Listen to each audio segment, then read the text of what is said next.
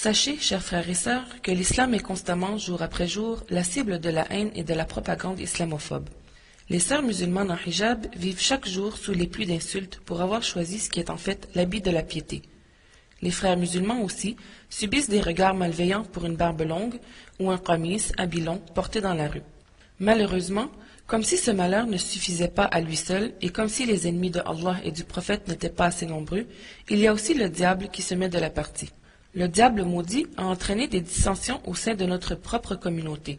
Il a divisé les rangs des croyants en groupes, puis les groupes en diverses sectes profondément déviées, entre autres la secte des Wahhabites, qui pratique une religion à eux propre appelée le Wahhabisme. Cette secte enseigne le mépris du musulman, la division de nos rangs et la haine dans les cœurs. Elle aveugle la vue du cœur, rend stérile la raison et le raisonnement. C'est la raison pour laquelle il est obligatoire pour nous tous de nous tenir à l'écart de cette secte, de mettre en garde contre elle ceux qui nous sont chers, afin qu'ils n'apprennent pas des choses erronées sur l'islam et qu'ils ne soient pas fraudés par leurs attitudes et allures trompeuses. Ce nouveau courant est un grave fléau qui sévit de nos jours, dû entre autres à leurs ressources financières. Les wahhabites se prétendent salafis. Ils utilisent ce nom comme couverture, le Saint-Coran et la Sunna, comme bon leur semble et quand cela leur convient.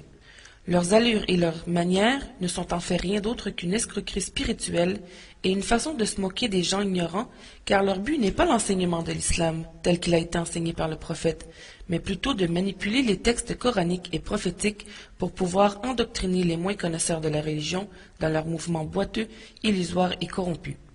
Ainsi, mes chers frères et sœurs, grâce à Allah subhanahu wa ta'ala, nous avons aujourd'hui le privilège, l'avantage et l'opportunité, à travers cet enregistrement, de dénoncer publiquement, ouvertement et sincèrement des dérapages et dangers de cette secte malfaisante pour notre communauté. Prenez garde, les wahhabites ciblent généralement ceux qui débutent dans l'islam, ayant comme argument qu'ils sont faibles et ignorent encore la base de la croyance pure, qui pourrait leur servir afin de se rendre compte que ce qu'ils prêchent est illogique, insensé et sans fondement. Le but premier de cette mise en garde, chers frères et sœurs, est de vous protéger contre ce fléau menaçant. De plus, le prophète dit dans un hadith, ce qui signifie Aucun de vous ne sera croyant, c'est-à-dire entièrement croyant, que lorsqu'il aimera pour son frère ce qu'il aime pour lui-même. Donc, de la même manière que nous souhaitons nous protéger nous-mêmes contre le mal, il en revient donc de notre devoir de vous en protéger aussi, pour notre bien, le vôtre et celui de la communauté tout entière.